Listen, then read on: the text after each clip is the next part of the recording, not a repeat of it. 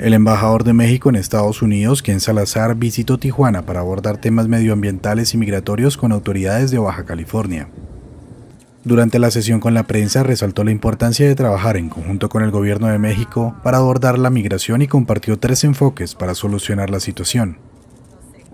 Entre ellos destacó la atención a las raíces de la migración, la organización legal para el acceso al trabajo y la aplicación de consecuencias para frenar los cruces irregulares en la frontera. Y por eso nosotros en los Estados Unidos estamos eh, en un esfuerzo eh, para asegurar que eso pase.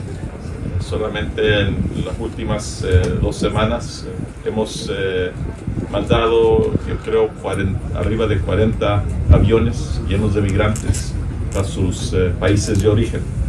Salazar, acompañado por funcionarios estadounidenses, hizo hincapié en el seguimiento de acuerdos anunciando que volverán a Washington en enero para retroalimentar lo convenido tras la reunión con el presidente López Obrador en diciembre.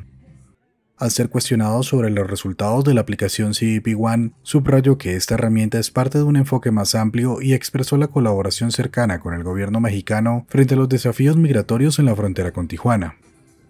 Ante la insistencia de los medios, Salazar reiteró que las soluciones incluyen abordar las raíces de la migración, organizar legalmente el acceso al trabajo y aplicar consecuencias a los migrantes. Destacó además el compromiso conjunto de Estados Unidos y México y señaló que en las últimas dos semanas se han realizado deportaciones masivas como parte de los esfuerzos para restablecer un sistema legal efectivo.